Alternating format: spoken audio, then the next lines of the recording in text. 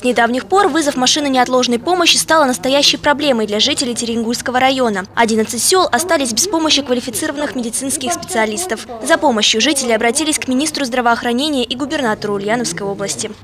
Вопрос стоит очень просто, четко и ясно.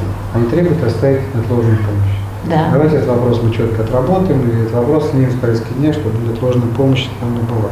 Конечно, это финансовая очень действительно нагрузка серьезная на лечебное учреждение.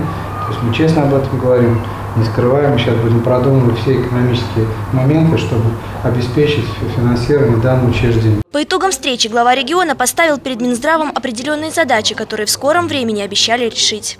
Мы задали свои вопросы, получили полный ответ. Мы удовлетворены встречей. Очень приятно, что Сергей Иванович пришел к нам на встречу. Мы очень рады. Получили, в общем, конструктивные ответы. В общем, мы встречей нашей остались довольны. Жители получили заверение о том, что неотложная помощь будет работать в прежнем режиме, а также все вопросы с кадрами будут решены в срочном порядке. Кристина Жакот, Руслан Баталов, Новости Ульяновской правды.